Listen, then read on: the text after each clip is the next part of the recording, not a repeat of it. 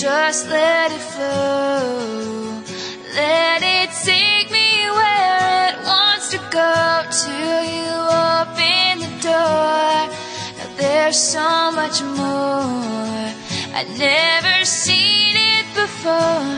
I was trying.